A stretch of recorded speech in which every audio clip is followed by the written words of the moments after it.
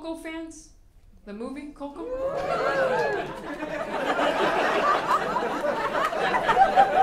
that could have meant Cocoa Puffs. That could have meant Hot Cocoa. The movie Coco. The movie Coco. I love that movie. I I was thinking though, you know, the movie's named Coco, which is the abuelita's name, right? Okay, but you you see her how many times in the movie? like twice. And they named the whole feature film after Coco, Mama Coco. But you only see her twice. You see her once in the chair at the beginning, at the end when she goes, "Remember me," and dies.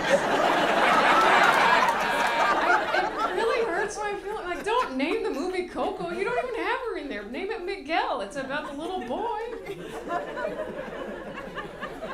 If I were Mama Coco, I'd be pissed. I, just bear, just follow me on this, okay? I would, I would be mom. If I were Mama Coco, I'd march into Pixar, just like, hey, what the hell? I'm so pissed. I'm so fucking mad. so it's not fair. You know, like I'm cool. I got a story. You name a whole movie after me, but I'm not in it.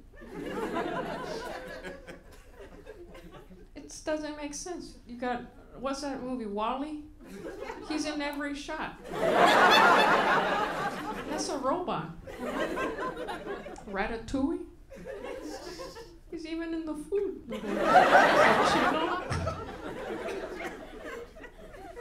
it's not fair. I'm pissed. You know what? The only way you can make it up to me, Pixar, make them Coco too. Go back in time and tell my story. Go back to my college days. Go back to Mama Coco and the university. Like go back to her party days, you know, she's just in her dorm, just guys coming over. Hey, come here. You want some of this hot cocoa? I did a lot of cocoa cane.